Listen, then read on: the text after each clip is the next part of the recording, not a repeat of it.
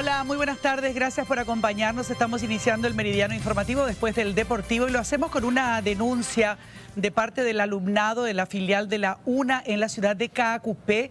De hace un buen tiempo denuncian una serie de hechos de inseguridad que se vive en la zona, en los alrededores de la sede de la filial de la UNA, pero también dentro incluso de la propia institución. Ya estamos observando este material, este video, lo que le pasaba a una alumna, estaba ya a punto de ingresar al predio de la universidad cuando fue asaltada, le robaron la mochila. Dicen que desde hace un buen tiempo vienen denunciando estos casos y parece ser que nadie responde a esta inquietud de los estudiantes. Ya está Mabel Díaz con más información al respecto. Mabelita, adelante, buenas tardes.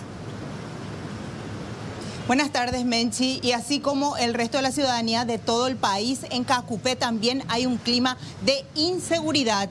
No se puede trabajar, no se puede circular tranquilamente por las calles y aparentemente y por lo que se ve en imágenes, tampoco se puede estudiar tranquilos o ir a la facultad tranquilos. Esto ocurrió nada más el día, la noche de ayer, 19 y 15 horas, como se ve en el video, el instante en que esta joven es despojada de su mochila. Algunos dicen que el atacante en realidad es una mujer que tiene algún, supuestamente algún tipo de arma contundente. Yo no logré identificar si es que tiene un arma o no, con el cual logra, digamos, amenazar a esta joven para en cuestión de segundos forcejear con ella y eh, llevarle la mochila. Eh, se sabe que esta es una estudiante de filosofía, se desconoce si esta joven realizó la denuncia correspondiente. Lo cierto y lo concreto es lo que nos dijo un alumno del turno noche de otra carrera de la UNA de Es que esto ocurre desde hace bastante tiempo. Y dicen que esta filial se encuentra a 500 metros de la ruta que comunica la ciudad de Cabañas con Cadacupé.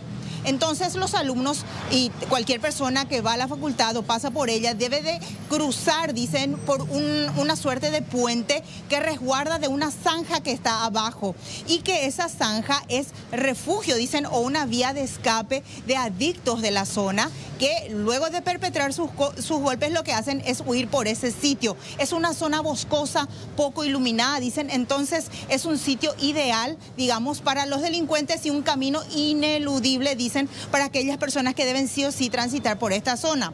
También nos contaba este estudiante que hace dos años, no, más de dos años, en el año 2018 dicen que tuvieron como centro de estudiantes de filial una, una reunión con el intendente de Que es el actual intendente todavía, y con el entonces jefe de comisaría.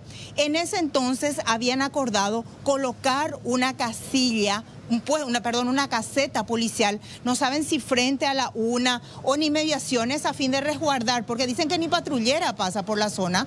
Entonces, esto es un ejemplo de lo que, de lo que acontece, dice este estudiante, prácticamente todas las noches y es un toque de atención. Afortunadamente ninguna vida se, lo, se cobró, no hubo eh, lesión física, pero de todos modos el susto con que acuden a estudiar los alumnos es preocupante y las autoridades deben tomar carta en el asunto. Gracias Mabel, hasta luego.